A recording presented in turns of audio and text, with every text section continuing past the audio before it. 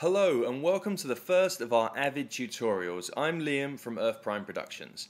Every week we post new articles and tutorials on our website www.earthprimeproductions.com and it's the first of our Avid series. So to make sure that you get the latest videos as soon as they come online, remember to click the subscribe button below this video.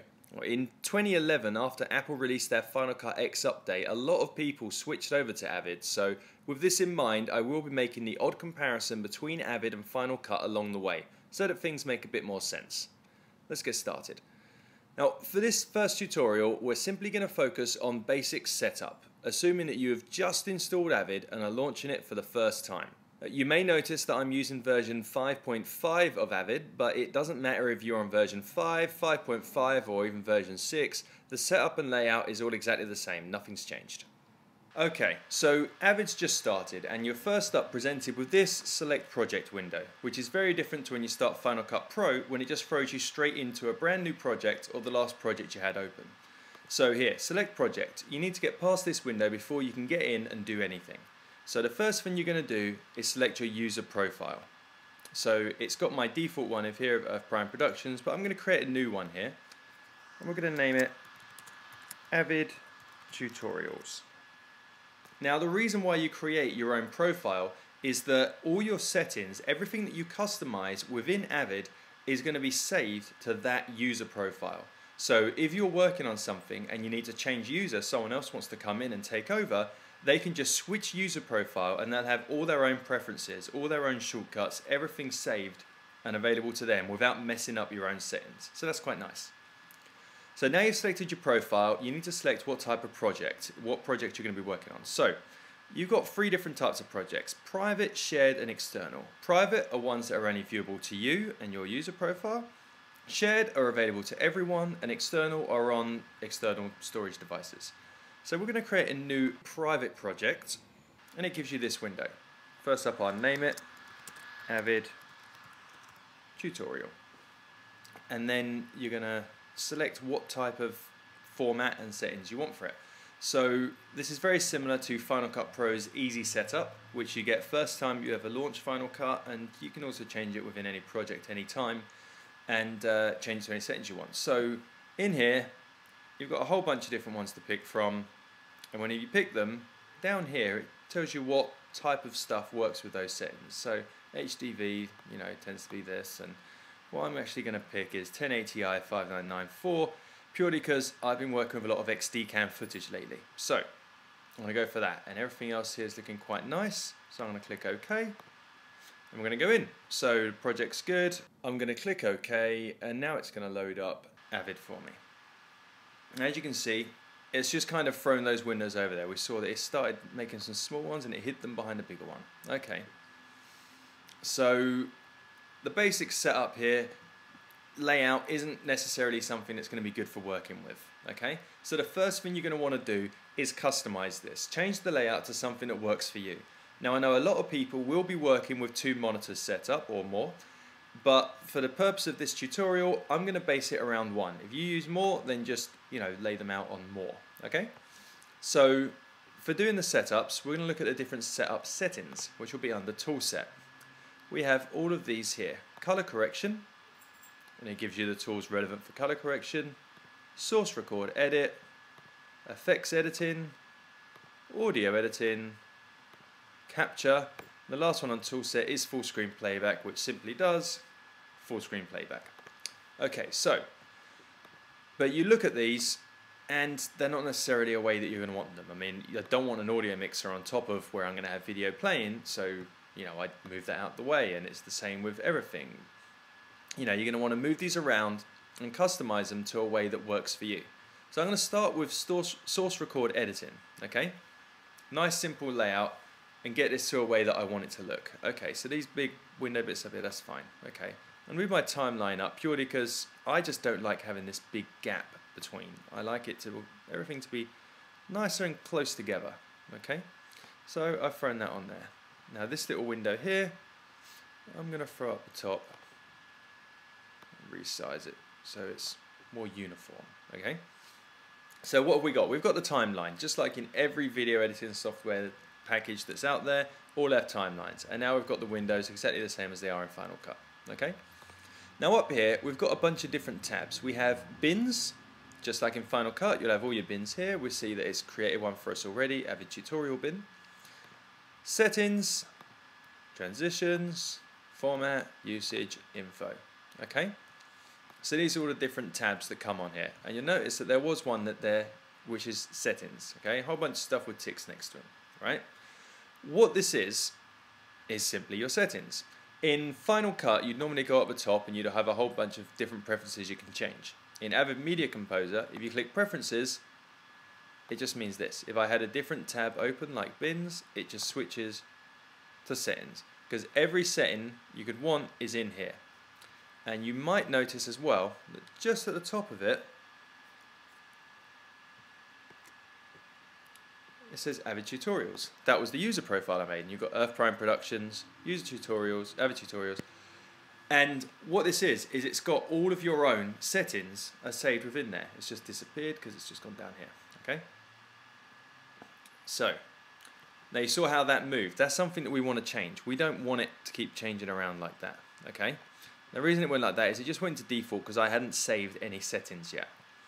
So, I've got this like this. I've got the settings, tab there, I've got bins. And we're going to change the, do a save to the settings in just a second. So I've got my bin here. If I double click that, I get my bin, and I'm going to use that to fill in this nice little gap down here. Okay. So now the layout is in a way that I'm happy to work with this. This is alright, I'm comfortable with this. Alright, so I jump back into tool set. What's to stop it from all changing around like I did just now? Click save current. So you see what one you've got selected because it has a little tick by it. And then if you just go save current, it's now saved. So I'm still within source record editing, but now the layout is how I want it. If I go to something else, color correction, and then jump back to source record editing, it's how I left it. Now you can do that with each one of these. So you go to it, you're gonna move these around, you're gonna save it however you want, save current, and then when you jump around, oh, wrong one, everything's where you left it, which is quite nice, okay? And these are all saved to your user profile, which mine's Avid Tutorials for this one, okay? So that's that sorted out. Now, something that's quite nice with bins, I'm going to talk about here, okay? We can rename bins, just like in most programs, okay? So we're going to call this one video okay? And then I'm going to create a new bin, and we're going to call this one music, okay? This is the bin I'm going to put my music in. So now I've got another bin. Hurrah! And uh, now I want, oh, maybe I'll have another bin. I'm going to click new bin, and I'll name this one uh, graphics. And now I've got another bin. And, you know, this is all starting to look a little bit cluttered because now I've got all these extra bins I need to make room for. So that's kind of a pain. Now you'll notice you can't, in Final Cut, you'd normally just like, you can drag the tabs and then you can merge them all together. And you'll see you click and drag, it's, it's not doing anything. You try and stick them on top of each other. No, we're not, we're not combining anything here. So nothing is, we're not moving anything. So how do we deal with this? Well, I'm going to close these, close these bins to begin with. Okay. So, bins, bit of a pain. So we're going to go into the settings for the bins and we're going to change it. So we're going to find bin, double click it, and now we get the bin settings. Okay. Now, first up on here, we see the autosave. Lovely little thing. I'm sure everyone that's watching this thing loves autosave, and I don't know about you, but I'm very paranoid. 15 minutes isn't enough time. You know, I prefer just five. If you prefer 10, then do 10. Whatever you want autosave is in here. It's in bin settings. That's where you're going to change your autosave. Okay? And now you'll see at the bottom of all these other settings, we've got a nice little thing here called super bin. Right? I'm going to enable super bin. Okay? So, what is super bin? Well now, if I if you double clicked on one of these bins before, so double click, you get the window like this, right? And double click, we have all these windows. Huge pain, right? I'm going to close them. instead of double clicking, with super bin enabled, you can just single click on one and it creates the super bin. So you'll see just at the top here, it now says super bin. So I'm going to resize that down to where I want it. And again, I'm going to save. So it says super bin at the top, and now we've got this little icon here, which is kind of like a bunch of things stacked on, on top of each other. Okay, a bunch of windows one on top of the other. Right. So what this means, I've got the video bin open at the moment, just like it was before. But if I single click on music, it's now just thrown it in a super bin. And if I single click on graphics, that's now down on the super bin as well. There's no other bins, it's just, just this one bin. Now, the icons up here for each of these has changed because these bins are now open, okay? But we can only see one. I can only see graphics at the moment. So if you click on this little icon here, it then gives the names of the other bins that are available for you to switch to. So I click video, we're now looking at video, music, flash to change to music. So it's just a nice way of keeping everything together, keeping all your bins in one place without having them all over the shop. Okay? So now that's quite nice, and I'm just gonna save current. Everything's all great. So there you have it. So that's the basic layout and setup for Avid. So now you've got this all set up, you're ready to go, okay? Now there's one more thing you might want to customize before you actually start editing and that would be your keyboard. I know a lot of people out there like to have their own keyboard shortcut keys, okay? A lot of people don't like the default ones. So how are we going to change it? Well, we're going to jump in to settings, okay? So we're going to the settings tab again. My user profile again is still set to Avid Tutorials because anything I change is going to be saved to my profile. So if I go down, amongst all these settings we have keyboard. So I'll double click on keyboard. And now we've got the keyboard open. Great. So this is what all the shortcut keys are at the moment. Spacebar being play, pretty standard, okay? But what if you want to change them? Normally, if you were looking at this in Final Cut Pro, you'd have an extra bit at the side here which lists all the other possible shortcuts and you can just drag and drop them onto whatever keys you want. But obviously you can't do that here because it's just a picture of the keyboard. So we're going to go up into Tools, okay? Now we're going to go down on tools to command palette, okay, which is also command free. So I click that, we get another new window open, command palette. Now on here, it's split into a whole number of different tabs, and amongst all of these is every possible shortcut key you could ever want sitting here waiting for you. And when you find the one that you're looking for, so let's say full screen playback, you just click on it and you're going to drag it down to wherever you want to put it. So say I want it to be F8, boom. That is now F8. So full screen playback. Great, just customize it, hurrah. So maybe I also want to put, um, let's do find bin. So I decide that I actually want to put find bin on F7. We'll put that down there. Find bin is now F7, great. But what if I didn't actually want it to be there on F7?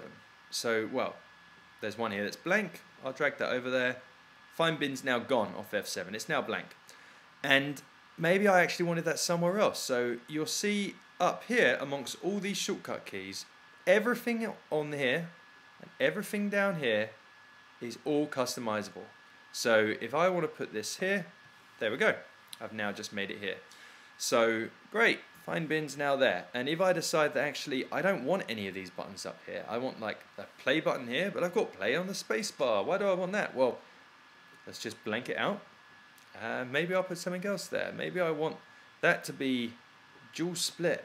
There, so there we go. That's now dual split. Nice and simple. So um, I now want to change it back to play. I'm just going to go like that and it's back to how I wanted it originally. So again, and you can change them down here as well. So if you want to put a button down here, you put a button down there. No big deal.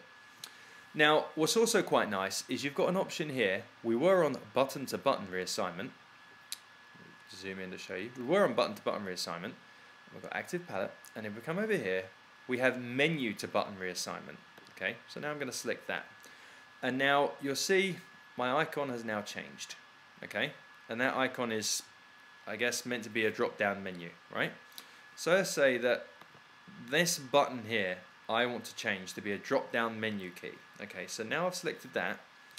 I'm going to go up here and I'll go, hmm, what little um, shortcut did I want? I wanted um, multi-camera mode. Maybe that was the button that I wanted. So now I'm going to click on that. And if I come down here, it's now changed to an MM, multi-camera mode. So you can take any of these functions from the menu and you can reassign them to be any button down here that you want. Or you can make them a keyboard function as well. So if I bring back my keyboard, here it is.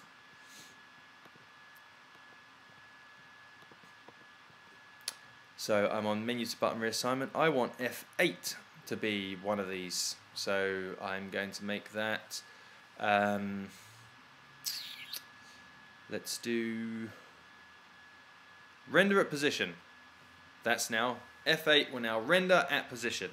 So you can customize all of these keys to do whatever you want and they will all be saved to your own user profile. Okay, so again, here, Avid Tutorials. Everything that I've changed is going to be saved to here. So if anyone else wants to come on at any point and take over the project, then you can just change user profile to another one and all of the settings that you just done, like my layout, is now gone. So it all goes to whatever that person's settings are. So Earth Prime Production is now set for that. And if I jump back to Avid Tutorials, it's going to load back the settings how I wanted them. The bin's disappeared, it just needs to be opened. So I click once, it's back where I wanted it. So there you have it. Basic setup for Avid. Now you're set to go. Don't forget you can subscribe to these videos by clicking the subscribe button below this on YouTube and also on www.earthprimeproductions.com.